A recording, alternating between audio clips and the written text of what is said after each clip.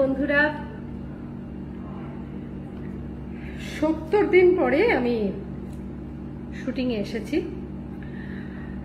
সত্তর দিনের মধ্যে আমি বাড়ি থেকে বেরিয়েছি জাস্ট দুদিন। বিশেষ কাজ ছিল। সেভেন্টি ডেজ আমি বাড়িতে ছিলাম, আমি শুটিং করিনি। আফটার সেভেন্টি ডেজ আজকে আমি এসে এই ফার্স্ট মেকআপ করছি। মৈনাক ভৌমিকের ছবির শুটিংয়ে এসেছি। টোয়েন্টি সেভেন্থ এপ্রিল যখন কোভিডের প্রকোপ খুব বেড়েছে, তখন আমি একটা হোয়াটসঅ্যাপ করি আমার প্রডিউসার এবং ডিরেক্টরদের যাদের সঙ্গে আমার ছবি করার কথা হয়েছিল, যে এই প্যান্ডামিক সিচুয়েশন না কাটলে আমি শুটিং করব না বা কম না হলে আমি শুটিং করব না। কাটতে তো এখনও দেরি আছে। প্যান্ডামিক সিচুয়েশন না কাটলে এবং আমার ভ্যাকসিন না হলে তখন আমি ভ্যাকসিন পাচ্ছিলাম না। যে আমি শুটিং করার ভরসা পাচ্ছি না, আমি শুটিং করব না।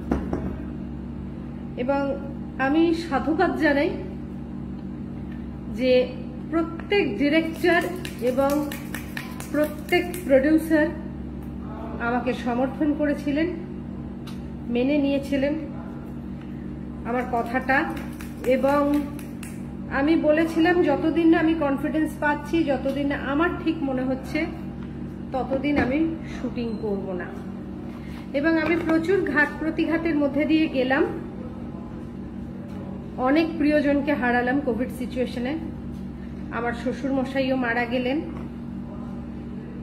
তারপরে আমি সবকিছু শেষ হতে অনেক কিছু সাক্ষী থাকলাম আমি।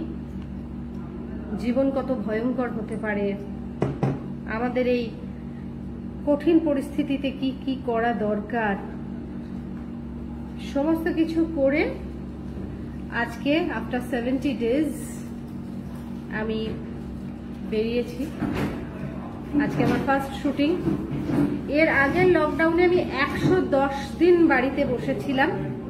একশো দশ দিন পরে যখন আমি বেরিয়েছিলাম শুটিংয়েরই কাজে মিটিং করতে, তখন আমার হাত পা কাঁপছিল।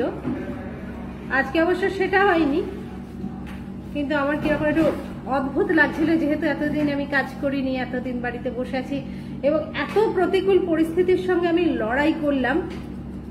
সবকিছু কাটিয়ে আজকে আমার মনে হচ্ছিল যে আমি একটা নতুন জীবনে ফিরছি।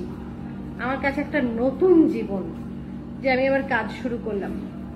কারণ আজ থেকে তিরিশ দিন আগেও আমার মনে হচ্ছিল যে কি হবে, আদৌ কাজ শুরু হবে কিনা, বা আমি কনফিডেন্স পাবো কিনা, বা আমি কাজটা করতে পারব কিনা। বাট আলটিমেটলি আজকে আমি শুটিং এসে পৌঁছেছি এবং মেকআপ শুরু হয়েছে।